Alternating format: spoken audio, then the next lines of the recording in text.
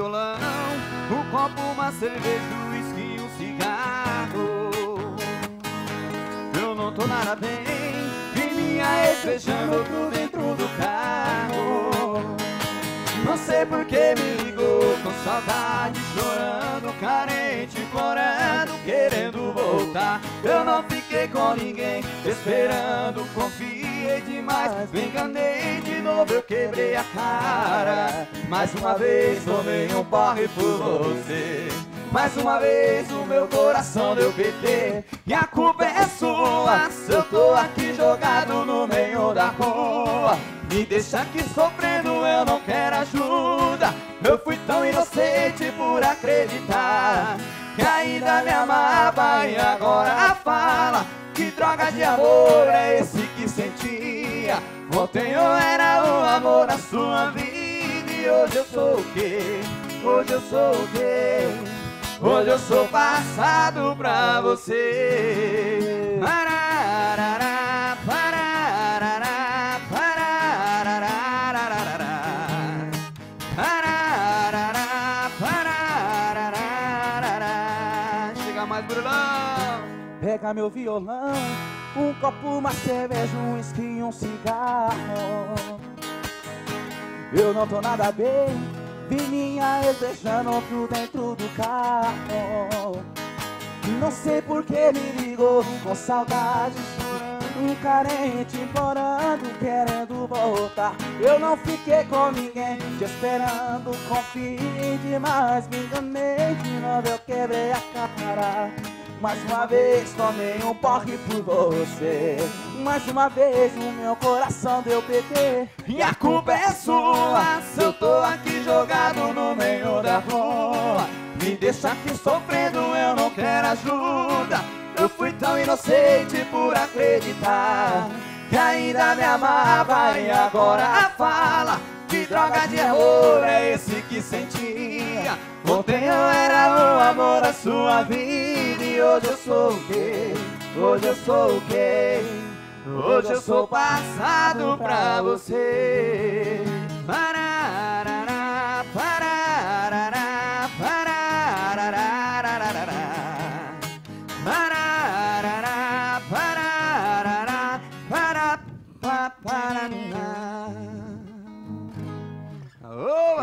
Que coisa boa! Boa tarde, pessoal. Sejam muito bem-vindos. Eu sou Mara Bastos e começamos aqui mais um em destaque, como vocês já viram, perceberam aí, em clima bem gostoso de música, né? Música é muito bom. Já quero agradecer a dupla que inicia aqui conosco, Deni Marques e Murilo. Bem-vindo, A meninos. gente que agradece. Prazer é todo convite. nosso. Que gostoso. É muito bom começar com essa vibe, né? Isso. Segundona, o pessoal começa com preguiça. Ai, meu Deus, tem uma a semana semana daquele jeito, né? inteira. Já começou a semana animada é? já. pra Já que é pra começar, vamos começar Vamos bem, não é começar verdade? Eu costumo dizer, gente, não existe sonho realizado se não houver trabalho. Não existe. É só no dicionário que a palavra vem. antes. tem que ter muito trabalho. Para isso que a gente começa a semana com muita animação. E vamos falar de coisas boas. Entre elas, saúde principalmente. Sem saúde, gente, a gente não vai nem na esquina. Então, hoje em dia, a gente tem que tomar cuidado com tudo, principalmente com os nossos corpos. É, você sabia que além, quando a gente fala saúde, é uma série de fatores, a saúde mental, a saúde física, saúde corporal, enfim, tudo. Mas hoje, na realidade, quem vai falar disso comigo é um dos grandes especialistas. E hoje eu vou até quebrar o protocolo, porque eu estou muito feliz de recebê-lo, porque, ó, bota tempo aí que eu estou tentando trazer ele. É um médico especialista em diversos assuntos e hoje, principalmente, ele está trabalhando aí na medicina do esporte. Eu tenho a honra de receber hoje esse que eu sou fã, doutor Fernando Solera. Tudo bem, doutor? Muito boa tarde a todos, boa tarde, Mara. Obrigada. Eu diria que a honra é minha estar Ah, aqui Quanto junto tempo? a você e já é, escutar um sonzinho tão bacana, um- essa energia grande que vocês, Deni e Murilo, Deni Marques e Murilo, já proporcionaram pra gente. Já começamos bem. Já começamos bem, né? Engraçado que quando a gente ouve música, a nossa, a nossa alma, ela se transforma, né? Daque- a gente pode estar pilhado, mas ela vem a calma, né? A gente entra na sintonia. Isso é muito bom, né? Gente, eu falei aqui do, do doutor, entre tantas coisas, o doutor é especialista em ortopedia e traumatologia também, né, além da medicina do esporte. Mas olha, o currículo dele, gente, não é fraco não. Ele é presidente da organização antidoping na empresa CBDA, que é a Configuração Confederação Brasileira de Desportos Aquáticos, também presidente da Comissão de Controle de Doping na empresa Federação Paulista de Futebol, FPF, não, FPF. Isso, FPF. A sigla é difícil. Vamos lá. E presidente da Comissão de Controle de Dopagem na empresa Confederação Paulista de Futebol. Então, vocês veem que a gente está aqui com um especialista quando o assunto é doping também, né, doutor? Então, é, ao longo dos anos, profissionalmente falando, a gente foi desenvolvendo um trabalho fundamentado no, na busca ao esporte limpo. Então, eu diria que hoje a gente tem um controle de doping no futebol, é, no atletismo, na natação, no, nos, nos desportos aquáticos, bem mais estruturado, e aí a gente foi chegando devagarinho. São, quando eu percebi, Mara, são 35 anos Nossa. de atividade médica na área de controle de doping. Então a gente conhece bastante coisa ao longo desses anos todos. Nossa, como eu falei aqui, vou quebrar um pouquinho o protocolo e falar como eu conheci o Dr. Fernando Solera. Eu tive uma lesão, para quem me conhece há muitos anos sabe disso, eu tive uma lesão de coluna. E no meu auge do desespero de dor, um dia, literalmente, eu sentei na internet e falei assim: Senhor Deus, o Senhor existe. Então, o Senhor me coloca agora na minha frente um médico que vai me tirar essa dor porque eu não aguento mais. Eram três meses de cama, chorando, chorando de noite, uma dor insuportável. Eu cheguei no consultório do Dr. Solera, a gente nem se conhecia, vi muitas matérias dele lá, entre eles, o que mais me chamou a atenção, que ele fazia um trabalho muito, uh, muito específico com atletas. Eu falei, bom, é esse médico que eu quero. Porque se ele coloca um atleta de pé, ele vai colocar eu que não sou um atleta. E, olha, para minha sorte foi assim, hoje, se eu estou de pé hoje, eu devo a ele muita dedicação, muito trabalho, profissionalismo, além de tudo, uma equipe que fala a mesma linguagem. Eu acho que é isso é muito importante, né, doutor? É, eu acho assim, Mara, que nós precisamos ter nos nossos consultórios uma equipe multidisciplinar. E na época, hoje eu não tenho mais, hoje eu só me dedico ao esporte, né, à medicina do esporte. Na época a gente tinha fisioterapia, acupuntura, piscina, aquele monte de coisa que dava condições da gente poder pegar um paciente com bastante dor, com bastante problema e ajudá-lo a resolver, enfim. Foi um tratamento bastante interessante, a Mara é, melhorou, mas também, Mara, tem uma coisa que o paciente que nos escuta agora, é, é importante que ele perceba. O médico não é capaz de fazer nada sozinho. Então já vai a primeira mensagem para você que nos escuta em casa. É, é, muito importante que o paciente seja disciplinado. É, o médico tem que te é, promover um tratamento e você tem que acatar aquilo, você tem que entender, antes de mais nada, e fazer direitinho. O que a Mara fez foi exatamente isso. Ela entendeu o problema dela, ela percebeu a importância do tratamento para o caso dela e mergulhou de cabeça. O resultado, na maioria das vezes, vem. Então é importante isso, que o paciente e o médico dele tenham um bom entendimento no tratamento. É verdade. E além de tudo, o que mais me chamou a atenção nele foi justamente esse, o tratamento aliado à saúde, que é o esporte. Eu pratiquei durante esses seis meses de fisioterapia intensa, né? Eu costumo falar que eu fazia tudo que era pia, né? Fisioterapia, hidroterapia, eu falava assim, gente, tudo que é, né? E assim, ah, geralmente quando a gente fala de uma cirurgia de coluna, todo mundo tem medo, realmente tem que ter. É uma cirurgia muito difícil, complicada, e só é levada realmente quando já, já chega ao extremo como eu cheguei, né? E engraçado que eu passei a ser referência para muitas pessoas. Todo mundo que tem problema de coluna me liga hoje, né? Eu falo que o doutor ele é tão famoso que ele nem tem noção quantas pessoas a gente. E eu, assim, sempre que eu posso, eu sempre estou falando dele, ele sabe disso, não porque ele está aqui do meu lado, porque eu durante muitos anos vim tratando e sei como é difícil, é uma área muito difícil de, de da gente encontrar a confiança do profissional. Mas, além disso, é importante, como eu falei, aliar tudo isso ao esporte. Então, que eu, onde eu quero chegar? Justamente, é importante você tratar a causa, mas continuar depois praticando as atividades corretas, não é? É. é a gente tem que entender que o ser humano é feito para fazer atividade física. Né? Todos nós temos 206 ossos, disponíveis com um monte de músculo. Isso tudo precisa ser mexido, precisa ser trabalhado. É, um pouquinho antes, a gente estava conversando sobre um assunto é, envelhecimento. E o maior anti-envelhecimento que existe, eu diria, não vou nem dizer o maior, vou dizer o único anti-envelhecimento que existe é a atividade física, por exemplo, a musculação. Então, todos nós temos capacidade de fazer alguma atividade física, desde que isso não interfira na nossa saúde. Pelo contrário, tem que nos trazer saúde. É, então, quando a gente está focado numa atividade física, a gente tem que ser determinado. Aliás, a Mara começou o programa falando uma coisa muito interessante, né? É, não existe a recompensa sem que a gente trabalhe. No esporte é isso também, né? Eu estou acostumado a trabalhar com atleta de muito nível e eles precisam trabalhar muito. Uhum. Eles precisam treinar muito, eles precisam se dar muito para que tenha eventualmente o resultado, porque não é uma certeza, né? É, o resultado vem com uma série de outros fatores: a sorte, a dedicação, o treino, é, o, o, atleta adversário foi um pouquinho menos é, melhor do que ele, enfim. Mas na nossa vida é, do dia a dia, para nós que não somos é, atletas de elite, que não defendemos nenhuma equipe, nenhuma, nenhuma seleção, eu diria que nós temos a condição de treinar. Se a gente pensar que tivemos uma Olimpíada no ano passado e teve a Paralimpíada e tinha gente que pedalava sem perna, eu vou fazer uma pergunta para você, Dene, Marx e Murilo. Você já imaginou que alguém pudesse pedalar sem pernas? Ah, é, é, difícil, é puxado, né? É puxado. Verdade, é, é muito interessante, né? Então, se eles fazem isso, nós temos, vamos dizer a verdade dos fatos, a obrigação de estar todo dia fazendo atividade física e se cuidar, uma alimentação correta. Então eu espero poder hoje aqui responder e discutir e interagir com vocês sobre esse assunto. É muito interessante.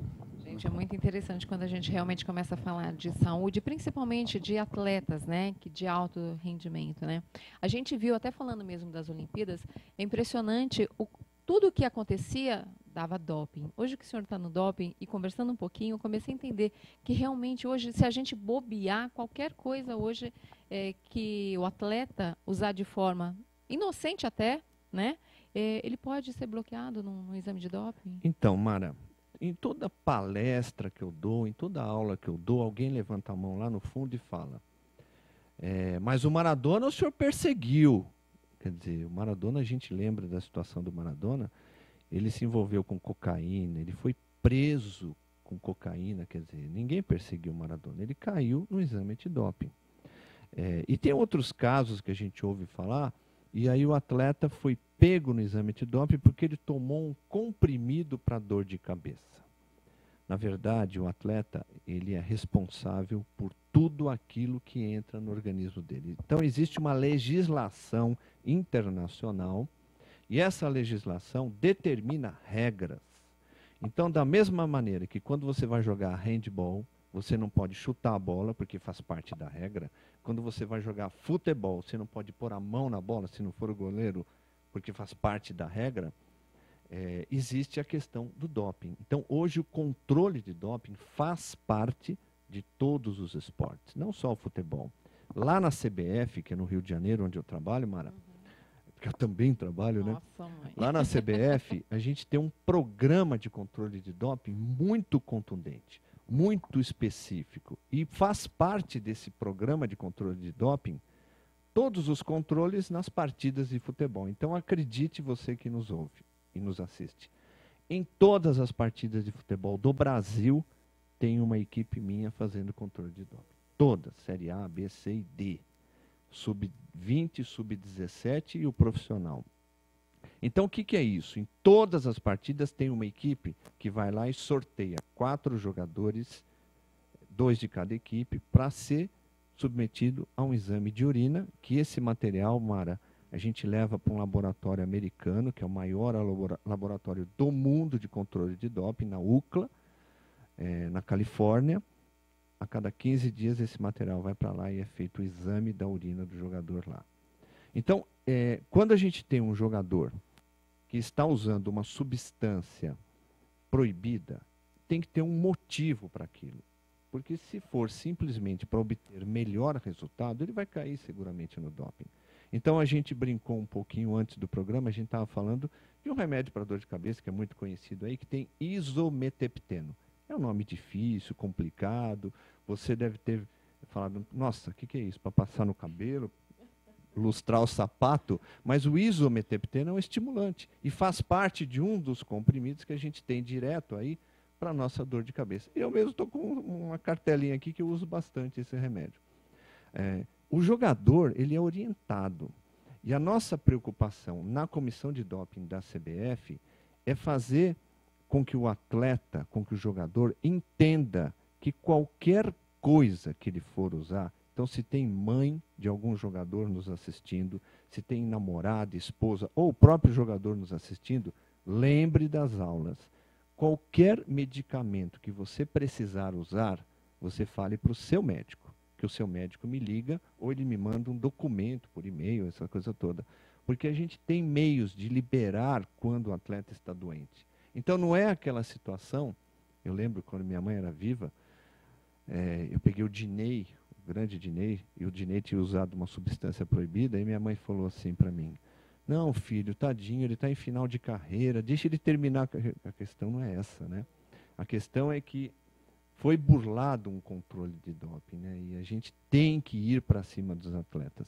Então hoje, Mara, seguramente no mês de 2016 eu dei 40 aulas em 40 clubes no Brasil inteiro.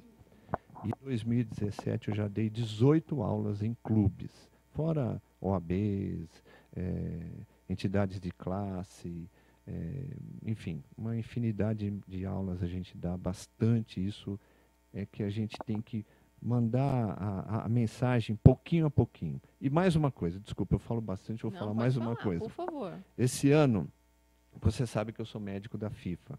E a FIFA me manda fazer missões fora do país.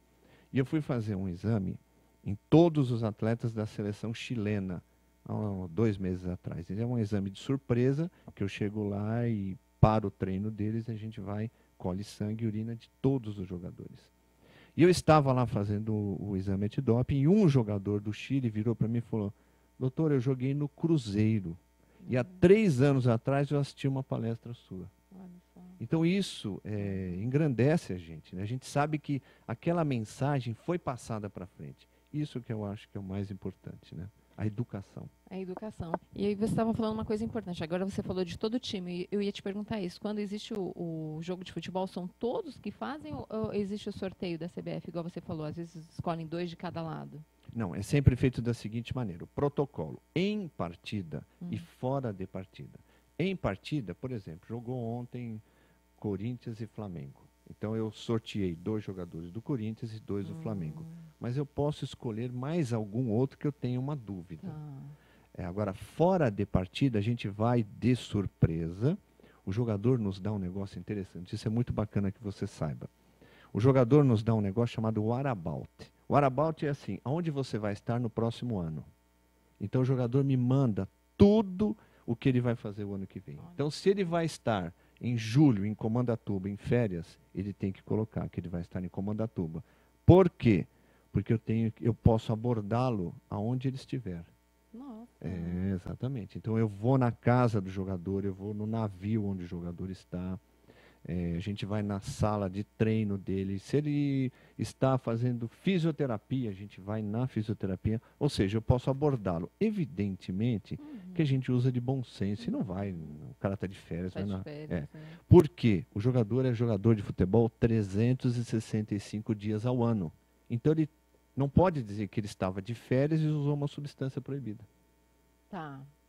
Ok. Né? Ele, Ok. ele, ele- é o preço que ele paga. Vou, vou falar uma coisa Mas ele para pode se lesionar sem querer numa brincadeira. Sim, aí aí ele está em- tomar um, um corticoide. está em tratamento. Aí ele me manda, o corticoide é proibido. É proibido? Aí ele me manda uma, chama-se AUT, um documento, né?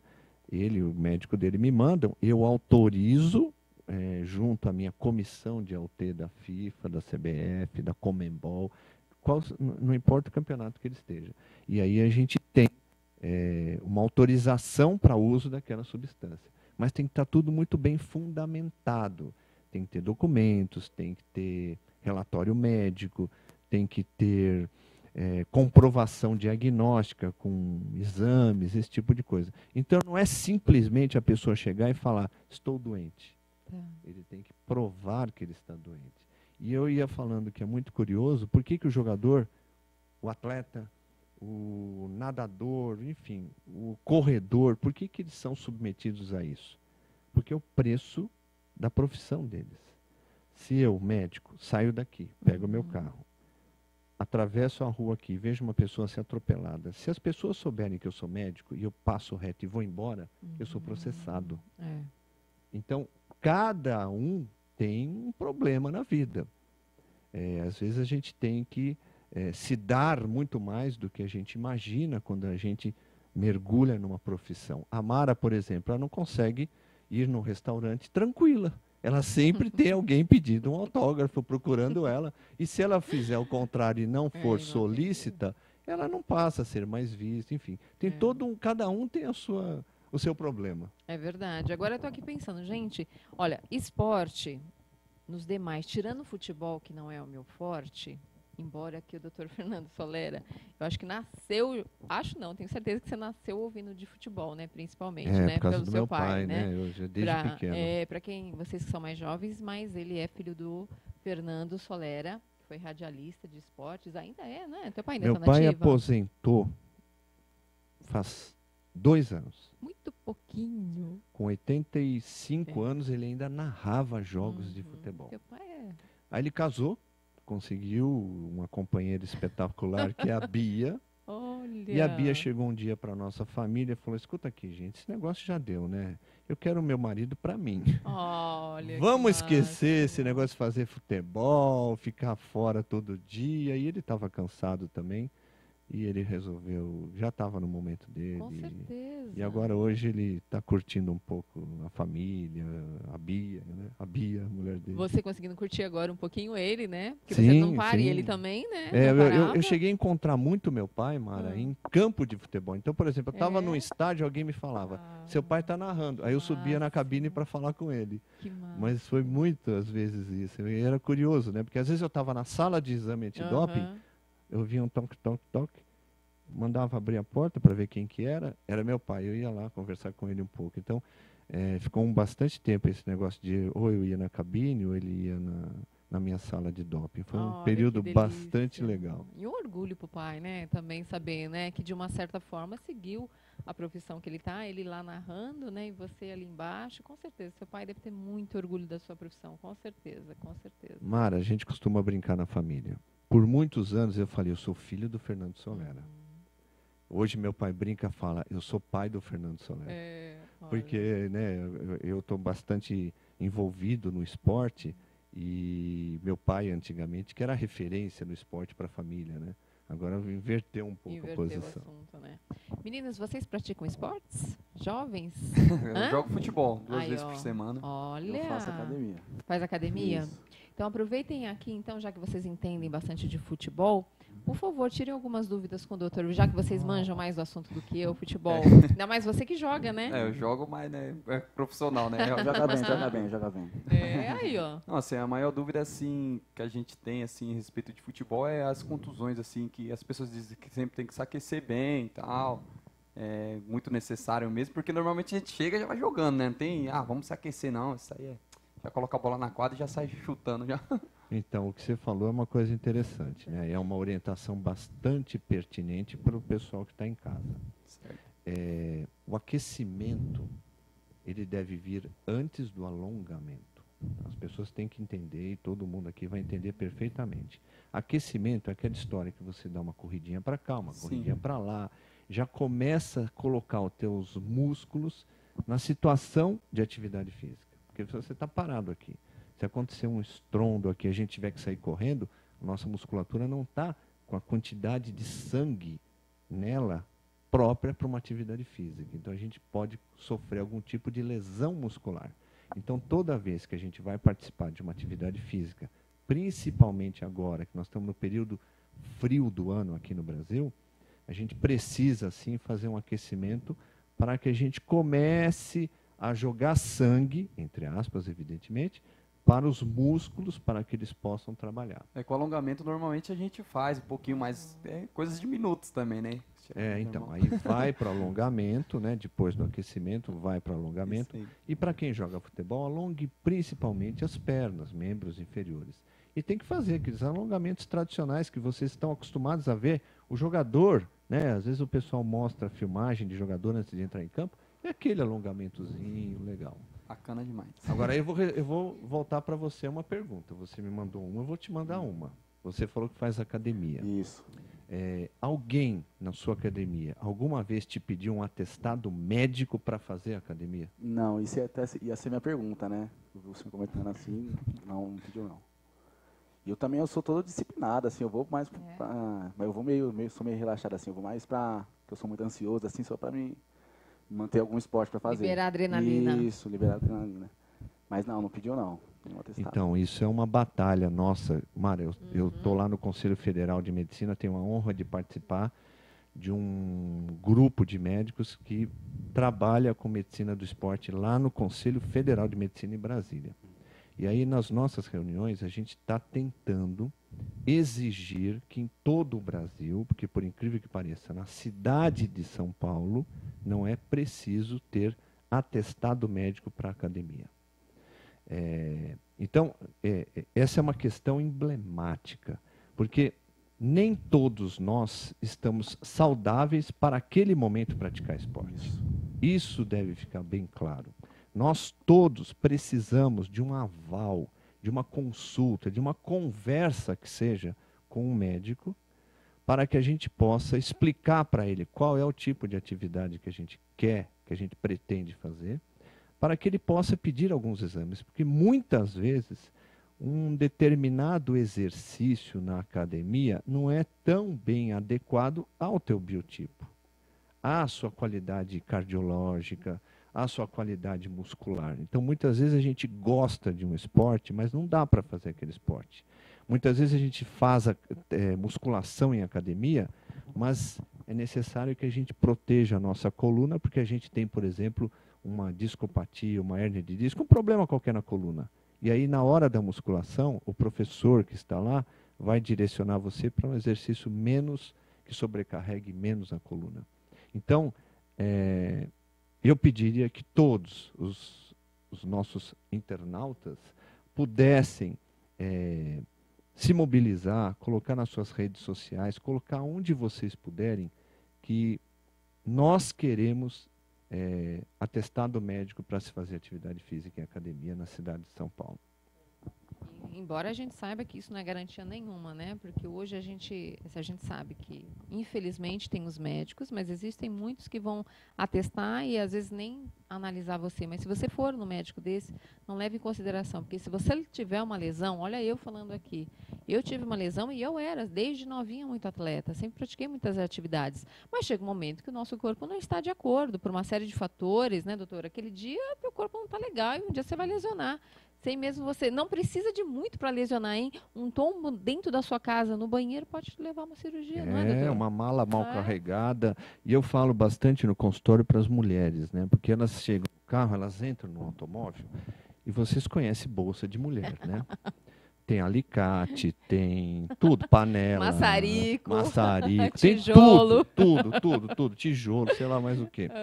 E aí o que que acontece? A mulher entra no automóvel dela e aí ela vira assim, ó, e ela põe a bolsa no banco de trás, que é uma questão de segurança. Uhum. acho que vocês uhum. estão certas. Deixar o, o, a bolsa no banco do passageiro é complicado.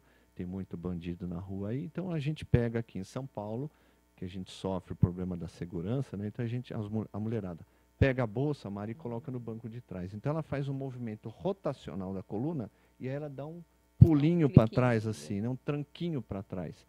Isso é muito problemático, porque pode, se ela tem já um, uma, um, uma, uma fraqueza na coluna lombar, a musculatura não está assim muito bem trabalhada, e se ela tem qualquer problema de coluna, uma discopatia, uma hérnia de disco, qualquer coisa ligada a uma doença de coluna, pode desenvolver ali aquela fisgada famosa. Né? O paciente fala para ele, doutor, senti uma fisgada na coluna.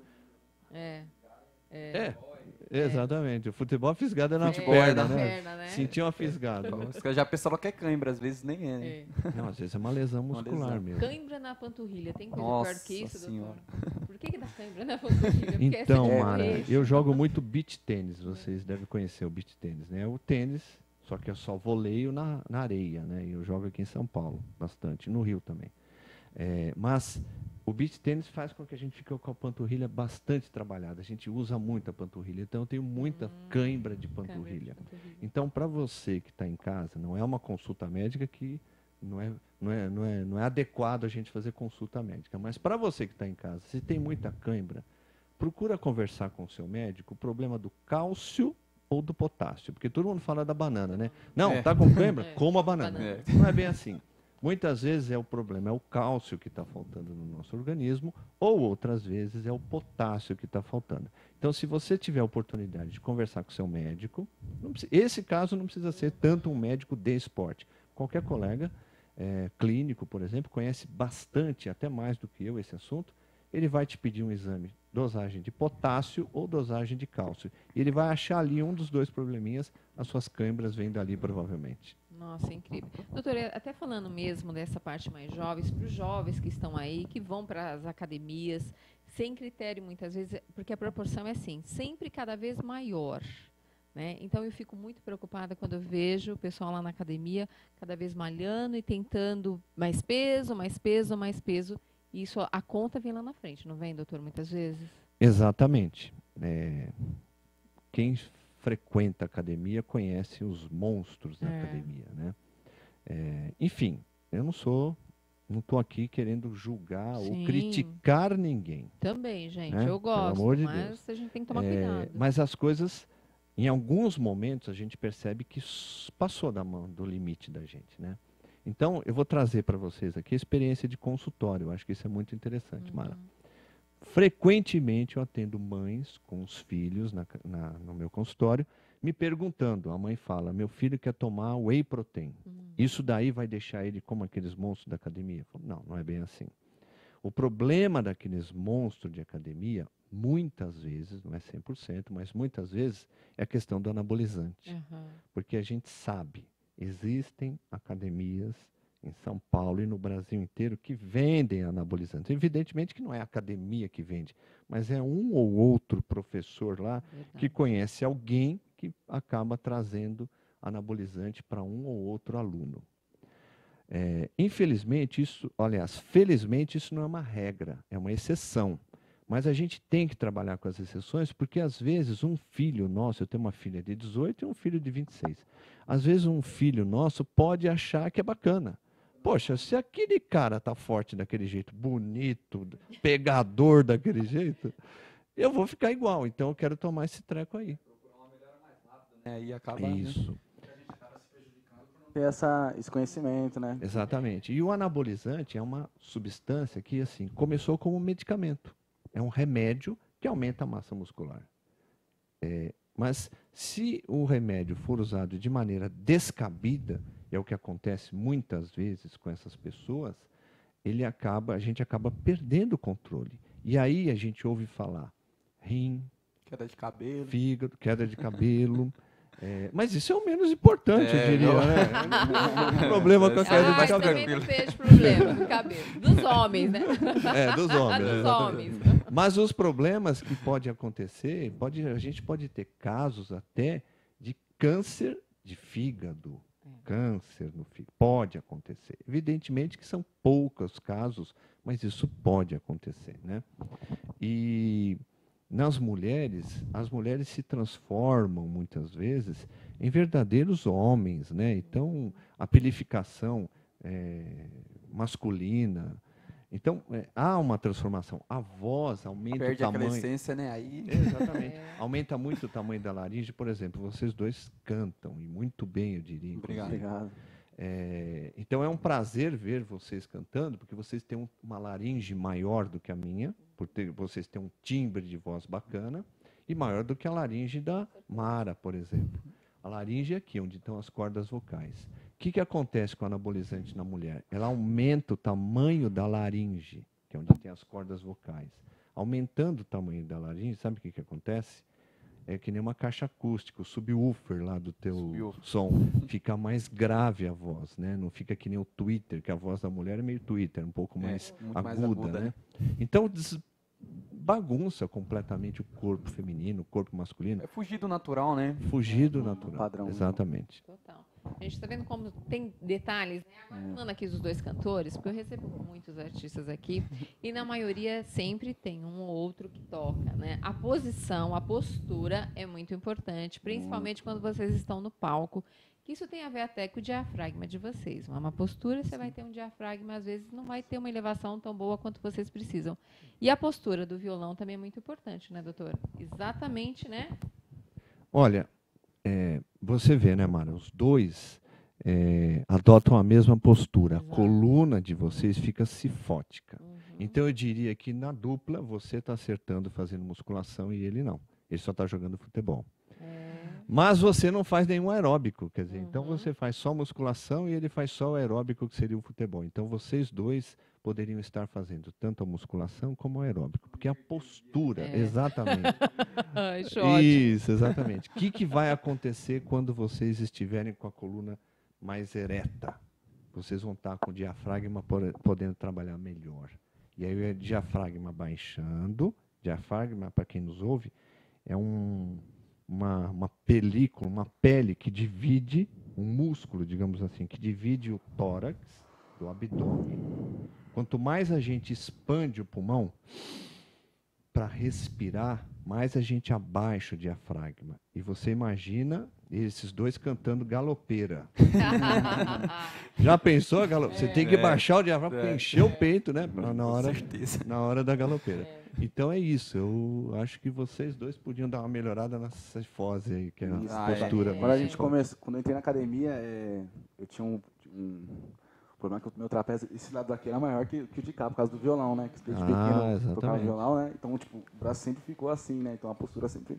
É que o violão se torna um apoio seu, É, né? então. Normalmente você não, não fica assim, tocando Eu- assim. Você, conforme você tá aprendendo, você vai ficar olhando mais as notas tal. Com o Cresceu tempo você tocando, vai... né? É. Aí você parava no espelho assim, você via que aquele era bem maior que o lado de cá, né? Você ficava, Isso. "Puxa". E vocês sabem que, assim, na maioria dos cantores, é, esse foi um erro que, durante muito tempo, todo mundo falava assim nos bastidores e, aos poucos, eles foram corrigindo. Tanto que os cantores mais renomados, que tocavam violão no palco, deixaram um pouco de tocar no palco e colocaram um segundo aqui tocando para eles, justamente por causa da postura, porque no vídeo não ficava bom. Então, eles começaram a colocar, parar um pouco, É, mas porque já estavam é, forçando demais a sua lombar. Tem Agora, você um imagina DVD um show de do- duas horas ao vivo em pé. É impossível. Verdade, o DVD do Gustavo Lima, no primeiro, assim, você repara que ele tá bem Sim. assim, né? Postura. Preocupado com, com o É. instrumental também, né? É, não Isso mais deve po- ser, eu vou, vou chutar, não, não conheço muito de música, mas não deve ser coincidência a segunda voz ter o violão Sim, e a primeira nem sempre ter o violão. nem sempre Verdade. violão.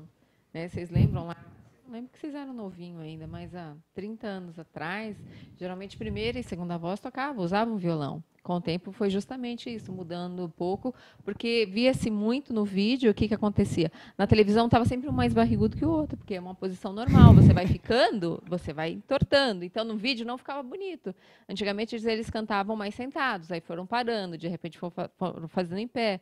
Só que você coloca uma hora e meia num palco fazendo um show com um violão na mão. É não, e a agenda puxado, né? deles é, É. 30 dias, é, Três, quatro shows 40 por shows. noite. fala, é uma faz dois shows por dia. loucura. É uma loucura.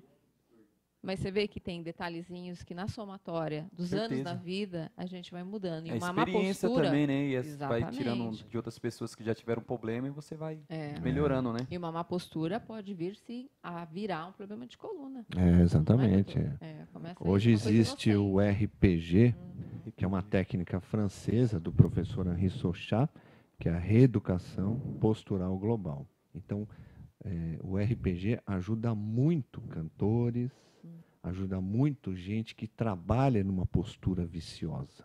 E quando a gente fala de trabalhar em postura viciosa, a gente só imagina o digitador, É. o cara que está lá no computador o dia inteiro.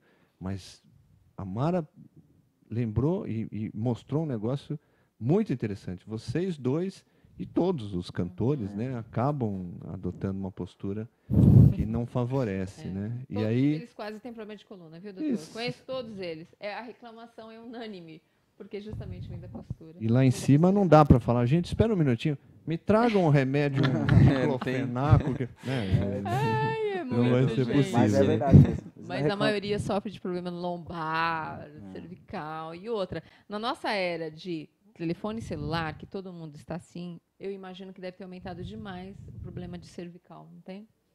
Então, a maioria das coisas que a gente faz é em postura de fechamento. A maioria. Tocar, mexer no celular. é, então, eu digo para as pessoas: se você quer fazer algum exercício anti-age, ou seja, anti-envelhecimento, treine musculatura das costas.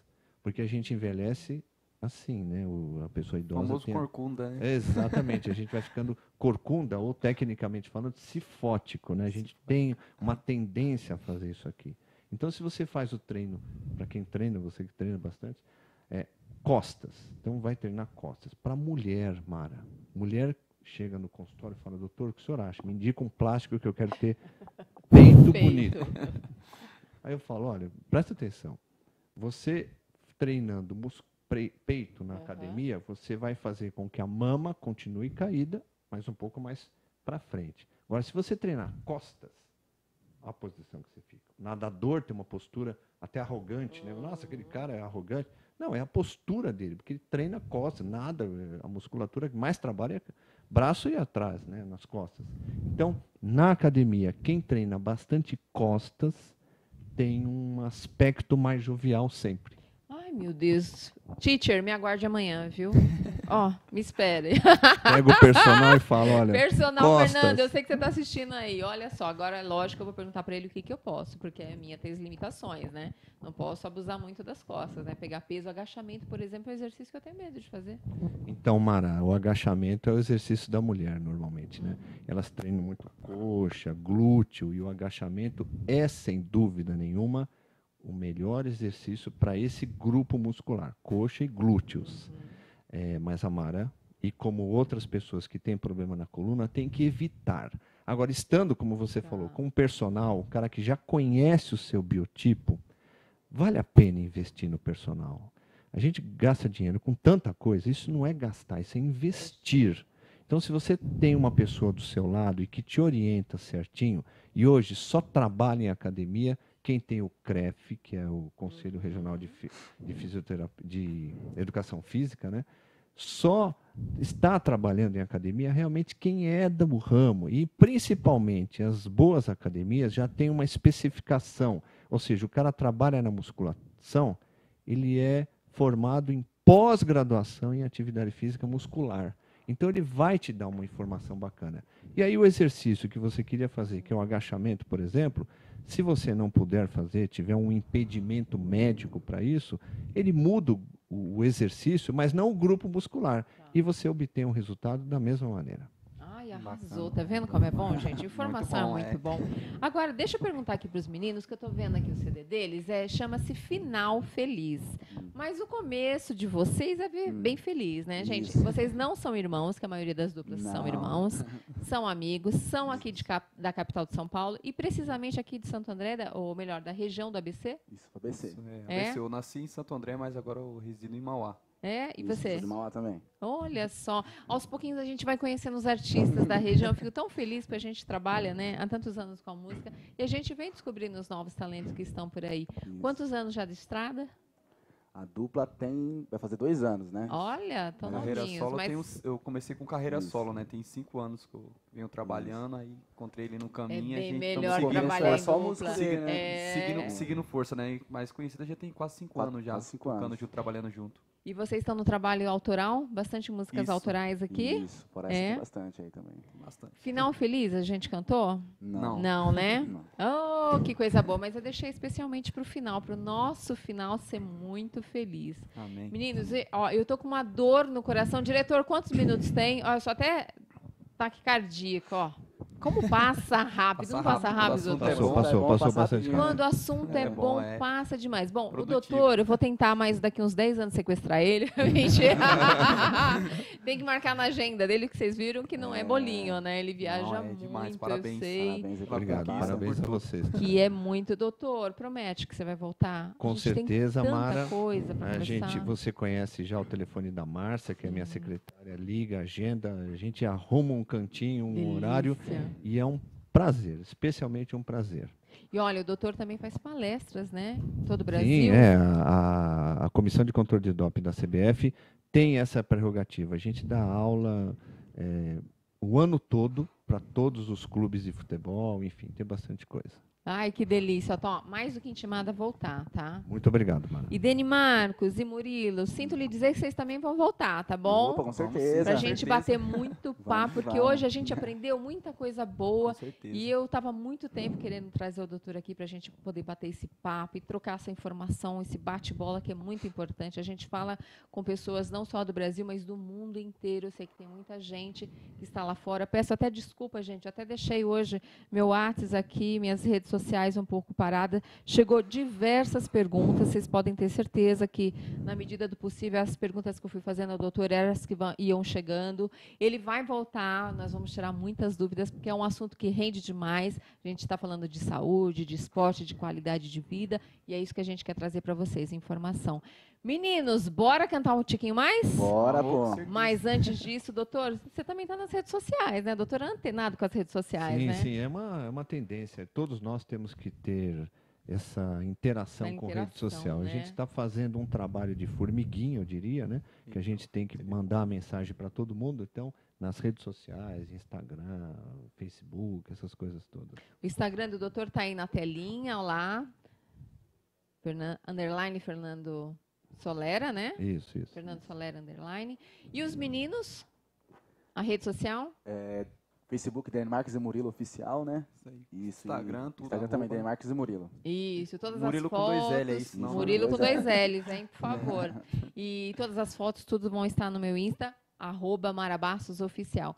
Gente, com muita dorzinha no coração, eu vou me despedindo de vocês, já deixando aqui que o nosso encontro já está marcadinho na próxima semana. Vamos estar sempre trazendo é, informações de qualidade, música sempre, porque a gente é apaixonado por isso. Por isso, nós vamos ter um final feliz hoje com Deni Marcos e Murilo, né? Isso. Simbora tocar mais uma? Bora, vamos que vamos. Beijo, gente. Fique com Deus, viu? Até semana que Final vem. Feliz, Dan Marques e Murilo. E aí? E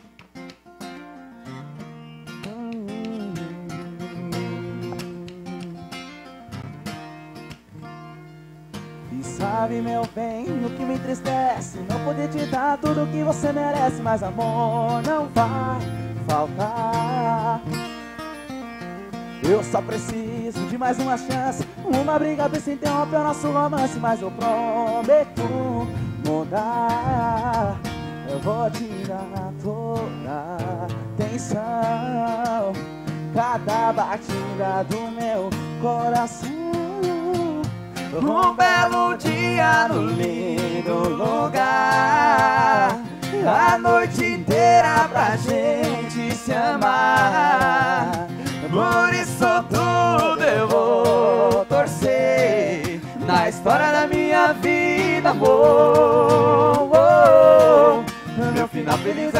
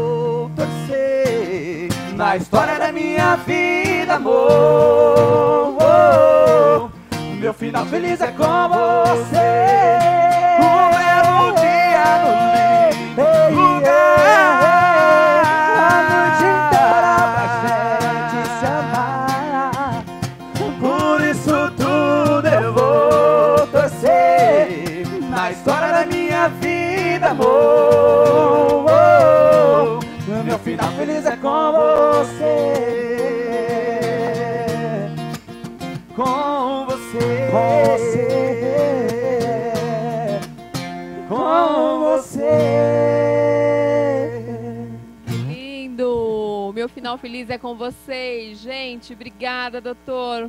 Obrigada mais uma vez pela presença, viu? Fique com Deus. E para vocês, boa semana. Tchau. Obrigado a todos.